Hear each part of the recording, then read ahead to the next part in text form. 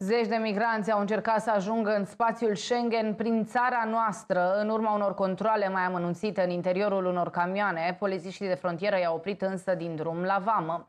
Atât șoferii camioanelor cât și cetățenii străini ascunși printre marfă au fost reținuți pentru cercetări.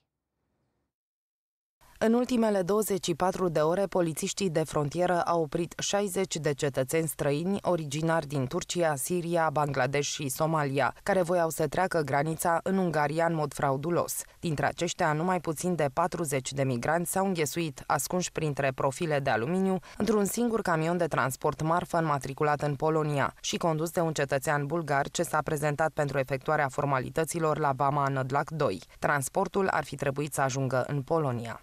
Alte două cazuri au fost găsite de vameș. Deși în acte, doi cetățeni turci la volanul tirurilor înmatriculate în Turcia și Polonia transportau componente din aluminiu și veselă de unică folosință, la un control amănunțit vameșii au găsit 20 de cetățeni străini ascunși în spatele tirului.